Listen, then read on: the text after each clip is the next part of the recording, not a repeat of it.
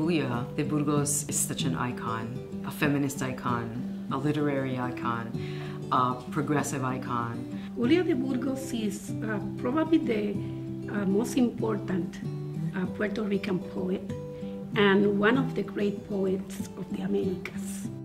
When I found out this year that the parade was being dedicated to Julia de Burgos was very exciting. We were approached by the parade to present my play, Child of Water, and del Barrio was available for the reading. Museo Barrio is two blocks away from where she passed. So then we just started brainstorming ideas and I was like, oh my, could we have a blessing?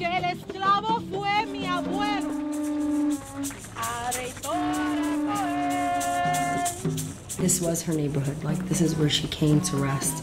And by us doing that, we're paying homage, respect. We're giving her the tribute that she so deserves and honoring her.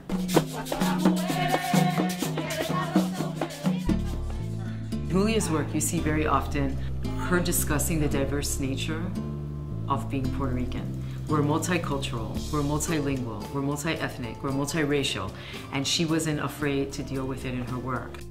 So her life and her poetry and the intention of her, you know, existence in this world was to embrace.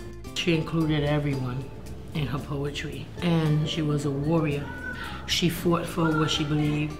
She was able to disregard criticism and disregard naysayers about her journey to the United States.